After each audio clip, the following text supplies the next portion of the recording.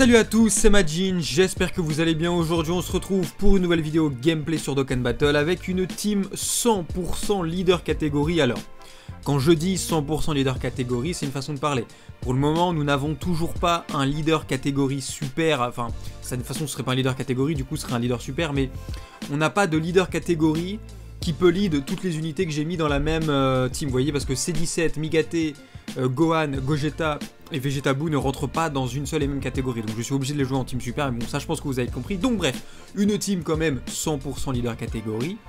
Et donc avec cette team, ça fait un petit moment que je voulais vous le montrer quand même parce que est-ce que des cartes très très très très fortes individuellement, est-ce qu'elles peuvent être très fortes toutes, toutes réunies? Alors, encore une fois, euh, toute proportion gardée dans cette vidéo est ce que vous allez en voir. N'oubliez pas que le leader est, un double 120%. On est très loin d'un double 170% euh, au niveau de l'attaque et de la défense. Faut pas oublier qu'une catégorie c'est quand même 100% en plus au niveau de l'attaque ou de la défense ou des PV comparé à une team super à 120% x2. Donc voilà, toute proportion gardée, n'oubliez pas que ce que vous allez voir n'est pas aussi fort qu'une catégorie. Mais voilà, est-ce que tous ces persos très très forts individuellement euh, réunis, est-ce qu'ils sont aussi forts? Alors, donc du coup, je pars en double végétaux bleu avec des végétaux blue pas très forts. Hein. Euh, le mien n'a pas de doublon par exemple, c'est fait exprès. Bon, après, j'ai pas de doublon sur lui, donc ça, ça dépend pas de moi. Et l'ami leader, je lui ai pris qu'un seul doublon. Je voulais pas prendre un végétaux bleu à 100% parce que si un végétaux bleu à 100%, à la fin du combat, il fait 4 attaques SP, végétal bleu évolution, en un tour, c'est plié. C'est pas ce que j'ai envie, j'ai pas envie de vous montrer végétaux blue. J'ai envie de vous montrer les leaders catégorie. Et donc, vous allez voir euh, des rotations qui peuvent vous paraître un peu inhabituelles, mais je vais faire C17 et Gogeta 4. Pourquoi? C17 qui plus 3, défense plus 60% pour tout le monde. Ça veut dire que Gogeta 4, quand il sera à côté de lui, c'est comme s'il il était déjà parti en spé au niveau de la défense. Donc on va améliorer la défense de Gogeta 4. Parce que si Gogeta 4, euh, enfin quand Gogeta 4 partira en spé, on aura un total d'une défense de 110% pour lui. Donc c'est très très bon de faire ça. Toujours est-il en plus que C17 débuff sur l'attaque. Donc si l'ennemi peut être débuff, après avoir appliqué le debuff, Gogeta 4 prendra encore moins de dégâts sur les auto-attaques. Deuxième rotation, Vegetable Evolution, Migaté. Pourquoi? Parce que Vegetable Evolution, à côté de Gohan Ultime, il n'y a pas beaucoup de liens de ki, c'est voire nul à chier. À côté de Vegeto Blue, pareil. À côté de Vegeto Blue, il a énormément de liens d'attaque, il en a 35%, mais pas de liens de ki. Donc, Vegeta Blue et Migaté à côté. Ensuite, euh, si jamais je veux faire un proc un maximum de liens d'attaque avec Vegeta Blue, je le mettrai en seconde position afin d'avoir Soldat Divin et Super Saiyan en plus avec, euh, avec Blue. Et donc on est parti, vite fait juste avant de commencer le combat, on est parti sur l'event de Vegeta Blue Evolution justement, pourquoi? Parce que Vegeta Blue Evolution, c'est un boss, je vais vous le montrer. Qu'est-ce qu'il fait sur l'aspect? Je parle du boss, hein, je parle pas que de la carte, hein. la carte fait ça, mais le boss que vous affrontez vous fait aussi ça. Il réduit très fortement la défense, et très fortement la défense, quand il est transformé, ça équivaut à réduire la défense de 80%. Ça veut dire que quand vous prenez une spé de Vegeta Blue Evolution, euh, il faut s'accrocher parce que même un LR avec énormément de défense, il se fait péter la gueule. Un Gogeta LR, un Bojack LR, un Zamablack LR, un Végéto euh, LR, quand ils, se prennent une spé d'un... Euh, d'un Blue Evolution, ils se font ruiner la gueule, mais genre vraiment. Donc bref, à tout de suite sur le boss. Alors juste vite fait, maintenant qu'on est là quasiment sur le boss, j'ai fait exprès de ne pas prendre de ki, puisque je voulais vraiment vous montrer la team dans des conditions où on ne prenait pas du ki, parce que si j'avais pris par exemple un ki plus 4 avec Vegeta Blue Evolution, bah, je l'aurais laissé à côté d'un d'un euh, d'un Vegeto Blue par exemple, mais là c'est pas le cas. Donc bref, euh, ici les rotations ne sont pas prêtes. Bon, c'est pas très grave. Euh, qu'est-ce qu'on va faire? On va laisser le Vegeto Blue le plus nul en premier parce que j'ai pas envie qu'il fasse beaucoup de dégâts. Ici on va faire frapper Gogeta 4 forcément, lui fait partie de ce que j'ai envie de vous montrer. On a 30 000 de défense, donc après l'aspect il aura 45 000 de défense, ce qui est pas mal en team double 120%. Alors à noter, je vous l'ai pas dit, mais voici les doublons que j'ai. Mon Vegeto Blue, 0 doublon. Mon Gogeta 4, il est à 90%. Mon Vegeta Blue Evolution n'a pas de doublon. Mon C17 Endurance n'a pas de doublon. Mon euh, Gohan Ultime a un doublon en bas à droite. Et euh, mon Migate est à 100%. Donc voilà, vous avez une, vous avez une team qui. En fait, vous avez une team qui part de plusieurs persos avec 0 doublon. Puis à 1, puis à 3 et à, 100%. Donc voilà, c'est une team relativement stable où tout n'est pas à 100% non plus, parce que tout à 100%, c'est vrai que c'est beaucoup beaucoup plus fort. En tout cas, on voit que Gogeta 4, bien entendu, ruine forcément tout le monde. Hein. Gogeta 4, même plus d'un an après sa sortie, est toujours toujours extrêmement fort. Euh, alors là ici ce qu'on va faire c'est que je vais sacrifier Super, enfin C17 pourquoi? Parce que comme je vous l'ai dit je vais le mettre avec un petit euh, avec le oh putain bah oui ah oui là du coup il y a défense plus 110% là en vrai hein, dans la rotation et du coup, on a 75 000 ici. Ah oui Ah oui, oui, oui, ah, c'est pas mal. C'est pas mal, c'est pas mal. Et du coup, je vais mettre, euh, bah, je vais mettre Végétabo Évolution parce que, alors, si Guan Ultime active la garde, c'est mieux de mettre Guan Ultime, mais vu qu'il a que 33% de chance d'activer la garde, je préfère compter sur un Végétabo Évolution qui, après être parti 3 fois en attaque, aura surtout euh, un bonus de 21% supplémentaire en plus des 110% qu'il a déjà et en plus des 60% qu'il a déjà. Donc voilà, je préfère quand même mettre un Végétabo Évolution. On prend quand même 58 000, hein, c'est à noter, on monte quand même à 831 000. Euh, alors 831 000 plus les auto-attaques, on va être sur du 1 million, 1 million, 1 million, ouais allez, 1 million 200 000 ce qui est bien, 1 million 200 000 sans, sans, sans doublon dans une team double 120%. On prend pas de dégâts. Après, sur les auto-attaques, c'est sûr qu'on va prendre aucun dégât dans cette team, ou quasiment pas, parce que C17, tant qu'il a pas son passif d'activer de réduction des dégâts de 40%, euh, ça reste moins fort. Alors d'ailleurs, en parlant de C17, pourquoi j'ai mis C17 et pas Super Végéto Endurance? Déjà parce qu'on a suffisamment de Saiyan dans la team, on a suffisamment de... Euh, de, fusion dans la team. Hein. On a deux végétaux blue, donc j'imagine que végétaux, voilà, voilà. On aime, mais faut pas déconner non plus. Et surtout que pour moi, sans doublon, euh, C17 est beaucoup plus fort qu'un. Euh, ah, je vais peut-être faire ça. Euh, ouais, je vais laisser Gogeta 4 en premier. Euh, qu'est-ce que vous voulez dire? Oui, pour moi, avec zéro doublon, un Gogeta, un, un, C17 est plus fort qu'un Super Végéto Endurance. Pourquoi? Sur les dégâts, ce sera peut-être pas le cas, et encore quoi que si, parce que C17 a 120% dès le début mais notamment au niveau de la défense. Végéto va certes prendre 50% euh, de dégâts en moins sur les auto-attaques, c'est très bien, mais sur l'esprit il va se faire ouvrir. Alors que C17, certes il aura pas une défense absolument incroyable dans ce genre de team, même si elle est excellente, mais il va débuff l'adversaire, donc quand tu débuffes l'adversaire, forcément tu prends moins de dégâts. En plus de cela, si on tombe en dessous de la barre des 77%, on y est presque d'ailleurs, il va activer son passif de réduction des dégâts subis de 40% pour n'importe quelle attaque. Ça veut dire qu'un C17 sous, 40, sous 77% tant que mieux qu'un végétaux endurance. Pourquoi? Parce que lui, il va réduire les dégâts subis de toutes les attaques, y compris l'espé. Donc ce sera un off-tank sur l'espé, tout comme Super C17.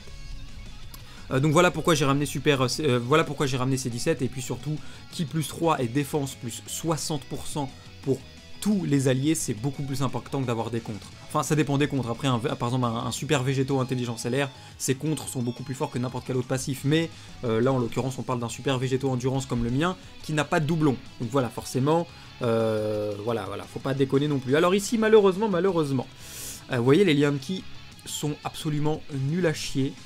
Cependant, je dis bien cependant, si je fais ça, je pense que je peux partir en spec Végétabo Evolution. Oui, mes amis, ça c'est parfait, c'est parfait.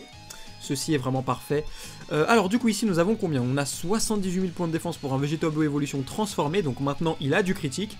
Il va attaquer une fois, il va avoir 10%. Il va, attaquer deux fois, 20% de chance de crit. À la troisième attaque, il aura 30% de chance de crit et au tour d'après, il aura 60% de chance de crit. Euh, donc euh, voilà, Vegeta Blue Evolution, honnêtement, c'est quand il est transformé, c'est un monstre de dégâts. C'est une unité en deux tours, en deux apparitions euh, évoluées. Il est quand même à 60% de chance de crit. C'est incroyable. C'est vraiment beaucoup trop fort. Guan Ultime, par contre, il faut activer la garde, s'il te plaît. 25... Ah oui, merde Oh non Oh putain, j'avais pas vu qu'on est contre Vegeta Blue Evolution transformé. Si je prends une spé, je suis dans la merde, mais royale, parce que comme je vous l'ai dit, Végétabo Evolution débuffe la défense de 80%. Donc je vais me faire éclater là. Là si je prends une spé maintenant, en fait faut prendre l'aspect euh, sur Vegeta euh, sur Végéto Blue en fait. Donc s'il te plaît Vegeta, voilà parfait. Donc on prend pas de dégâts forcément ici. Hein. Blue va quand même peut-être faire bien, ça, ça fait le travail, ça ça fait le taf, ça fait le taf. Mais euh, voilà c'est après, bon, là, si on prend l'aspect sur Vegeta, euh, sur Vegeto Blue, ça me dérange pas trop. Alors, ne t'énerve pas trop, s'il te plaît, Vegeto Blue. Je t'ai pris avec un doublon, justement, pour pas faire trop de dégâts. Euh, voilà, regardez combien on va prendre. Alors bon, on a l'avantage du type, donc on va pas prendre trop de dégâts. Mais on va quand même prendre beaucoup de dégâts, pourquoi? Euh, Oh, ça va, 50 000. Non, ça va. Hein.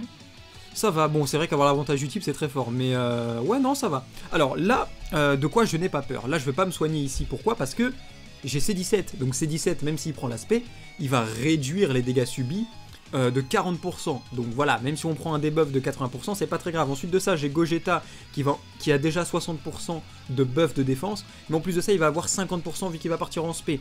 Et surtout qu'il a 70% de chance d'esquiver, donc j'ai pas trop de crainte à avoir euh, ici. Donc là, vous voyez, on n'a pris aucun dégât sur C17. Pourquoi? Bah euh, réduit les dégâts subis de 40%, c'est beaucoup trop fort, surtout que là, il n'y a pas de debuff. Là, il n'y a pas de debuff, pourquoi? Parce que Vegetabo Evolution ne peut pas être debuff. Faut le savoir. Alors, euh, est-ce que j'ai dit au début qu'il allait le debuff? Non, mais euh, ici, en tout cas, on pouvait pas le debuff. Donc ça, c'est problématique. Hein. C'est vrai que là, les genres d'unités comme Rosé, et tout ça pose problème parce que bah, quand tu peux pas debuff, ça sert à rien. Ça sert absolument à rien. Mais une spé sur Gogeta, non, ok. Bon bah alors on a pris quand même une spé avec ce Vegeta Blue et on se rend compte qu'on a quand même, bah sans item, on a passé assez facilement finalement le Vegeta Blue Evolution donc on n'a pas eu trop de problèmes là-dessus. Maintenant on va partir contre Badak SJ3. Contre Thales finalement, parce qu'en fait je suis en train de me rendre compte que Badak SJ3 tout au long du combat on ne peut pas le stun donc ça sert absolument, enfin on ne peut pas lui debuff l'attaque donc à un moment donné, si je ramène des debuffers comme c'est 17, il faut que ça serve à quelque chose. Ok, donc ah oui, j'avais oublié. Ah oui, d'accord, très bien. Pardon, il y a Google qui a failli s'activer. Vous avez vu le petit euh, carré blanc autour.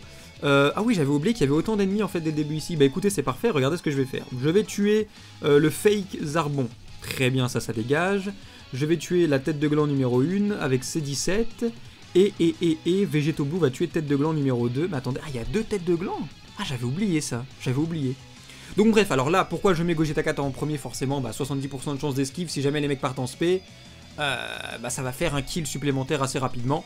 Euh, sinon autrement, ah non, j'aurais dû mettre C17 en première rotation, bah oui, parce que là du coup j'ai le lien Super Saiyan en moins. Bon après c'est pas très grave, pour un seul lien d'attaque à 10%, ça va pas nous tuer non plus, je pense que c'est plus intéressant de mettre Gogeta 4 là en fait où il se fait le plus attaquer parce que euh, l'esquive de spé c'est trop fort. Bon malheureusement il s'est pas pris de spé, si jamais il en avait fait une, euh, bah, on aurait pu tuer peut-être tous les adversaires en fait s'ils étaient tous partis en spé. Malheureusement ça n'a pas été le cas. Ici c'est 17, bah tue forcément. Est-ce qu'il a tué la tête de gland J'ai l'impression que sa vie a diminué euh, assez lentement finalement. Un peu dommage en vrai, non? Ouais, non, non, il est forcément mort, vu les dégâts qu'a mis Blue, alors que là il a frappé moins fort, c'est sûr et certain. Après, Blue peut tuer, hein. là s'il part en spé notamment, il tue le mec, hein, en vrai. Ah bah non, il a pas, il a pas voulu, il n'a pas voulu. Alors ici, par contre, ce que je vais faire, je vais garder... Euh... Je vais garder, je vais garder. Alors, je vais faire partir déjà en attaque euh, Vegetable Evolution parce qu'il augmente sa spé en partant en. Enfin, il augmente sa défense en partant en attaque justement. D'ailleurs, j'aurais pas dû le faire partir en spé, comme ça il aurait pu faire 3 auto-attaques peut-être, en tout cas 2, ça aurait été mieux. Euh, mais je vais garder Gohan Ultime parce qu'encore une fois, le but est de montrer euh, les leaders catégories en action et non pas les euh, les, leaders hein, qui sont Végéto Blue et euh, le, Goku des 250 millions. Alors ici intéressant, intéressant, oui très intéressant même. Là c'est le combo parfait, là c'est pas mal honnêtement. J'ai hop, l'avantage du type, un petit debuff possible. Euh, surtout, ah il est déjà debuff en plus. Ah, alors, oui, alors là ce qui est super fort, c'est que tout à l'heure je suis parti sur un boss super, mais là Gogeta 4 debuff déjà l'attaque et la défense de 20% du Thalès. Donc là le mec se fait debuff de 20% par Gogeta 4 et il va se refaire debuff de 20% par C17. C'est très très fort. En vrai, c'est même. En fait, cette rotation contre un boss extrême, c'est archi fort en vrai. Gogeta 4 C17, je suis en train de me rendre compte que franchement, c'est viable. Si un jour on a, un leader 150% euh, pour, pour les super, je vous jure que je joue C17 et Gogeta 4, mais sûr comme je suis en train de le faire. C'est sûr et certain. Oh, il m'a stun ce. Ah ouais Ah, le chien ah, j'avais oublié qu'il pouvait stun lui. Ah. Ah, bah, en même temps, c'est le, le Thales Intelligence. Par contre, j'imagine qu'il a une chance de stun à 50%, donc une fois sur deux, et pas 100%. Ici, Gogeta 4, pas de critique malheureusement, donc. Euh, mais bon, on prend pas de dégâts. Hein. Le debuff, plus l'autre debuff, plus l'augmentation de l'attaque, euh, plus l'augmentation de la défense pardon, sur l'aspect, plus l'augmentation de la défense de C17, forcément Gogeta 4 devient un tank. Alors, malheureusement, là on part contre Thalès, à la base je voulais partir contre euh, Migate no Gokui en fait, pour vous montrer que c'était quand même fort, mais l'event de Migate n'est pas disponible. Donc ça, il faut bien entendu le savoir. Ici, je ne peux pas partir en spé avec Gohan Ultime, ce n'est pas grave, je peux quand même partir en spé avec Vegetable Evolution. Au niveau de la défense, on est quand même très très bien vu qu'on a... Euh, ah, je voulais pas cliquer ici. Je voulais cliquer juste à droite. Bon, après, c'est pas grave, Végéto Blue, de toute façon, ne va pas frapper. Mais voilà, en plus, la garde est activée. Donc, oui, si Gohan Ultime active la garde, en fait, cette team est très tanky, hein, parce qu'on a un mec qui peut réduire les dégâts subis de 40%, qui augmente la défense de tous les alliés de 60%, qui donne un ki plus 3 et qui débuffe l'attaque. On a une autre unité qui a 70% de chance d'esquiver et qui augmente sa défense de 50%. Parle de Gogeta 4, hein, tout à l'heure je parlais de C17. On a une unité comme Vegetable Evolution qui peut avoir une défense absolument monstrueuse parce qu'il a 60% de base et ça peut augmenter à 70% en plus. On a... Euh, ah alors là qu'est-ce que je vais faire? Je vais mettre... Hmm, oh je vais partir du principe que je mets C17 en premier tiens.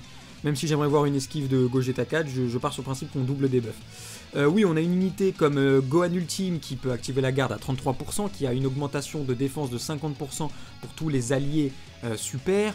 Et on a un Migate qui, une fois transformé, a 70% de chance d'esquive. Donc ouais, on est sur une unité, enfin on est sur une team qui est quand même très très euh, défensif en vrai. Hein. On se rend pas compte, mais euh, là, euh, bah, on prend pas de dégâts quoi. J'ai même envie de prendre une spé sur C17 pour voir à quel point on prend pas de dégâts.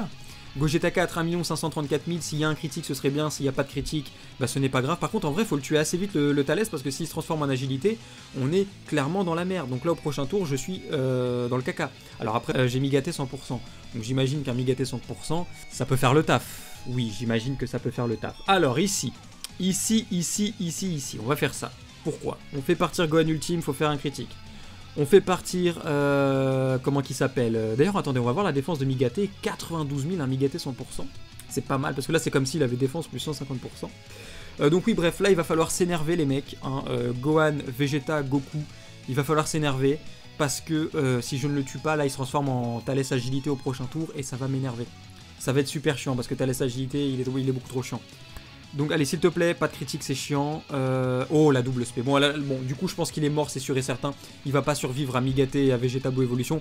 Même si Vegeta Blue n'a pas de doublon et euh, qu'il n'a donc pas de critique, il a des avantages, il devrait quand même mettre une barre de vie en tout, j'imagine. Vegeta Blue Evolution, fais-moi un petit plaisir, qu'on s'arrête ici. Ah non, bah il va même pas mettre une barre de vie. Donc euh, je pense qu'il va se transformer. À mon avis, Thalès va se transformer, à moins que Migaté 100% s'énerve. Et là, ah, même en s'énervant, j'imagine. Non, non, même en s'énervant, j'imagine qu'elle le tue pas. J'aurais peut-être dû ramener plus d'unités intelligentes. Enfin, non, bah non, je pouvais pas. Et oui, je ne pouvais pas. Puis on a dit que c'était des leaders catégorie, donc j'allais pas commencer à ramener Végéto LR. euh. Oh là là, c'est le caca. C'est le caca, il va se transformer. Je suis dans la merde. Alors en vrai, pas tant que ça. hein. Est-ce qu'il se soigne? Est-ce qu'il se soigne le Thalès agilité? Après, pourquoi pas Je viens de vous dire, euh, intéressant de voir ça finalement. Alors là, oui, non. Alors, alors, alors, par contre, par contre, quand on mange autant d'attaques dès le début, je mets Gogeta 4, c'est sûr et certain. Ensuite, on met ça, et normalement, je dis bien normalement, même si sa barrière est absolument incroyable à ce Thalès, parce que là, regardez, là, on a l'avantage du type, on a l'avantage de la classe, et combien on va lui mettre comme dégâts, je ne sais pas. Parce que je pense qu'il a une barrière de ouf, ce chien. Ah non, bah non, bah du coup il y a une barrière de merde. Ok, bon bah je sais plus c'est quoi sa particularité à lui alors. Bon bah bref, en tout cas on l'a éclaté. Du coup voilà, c'est tout pour cette team 100% entre guillemets leader catégorie. J'espère qu'elle vous aura plu. N'hésitez pas à mettre le petit pouce bleu si c'est le cas. N'hésitez pas aussi à vous abonner si c'est pas déjà fait. Moi comme d'habitude, je vous dis à la prochaine et bonne chance.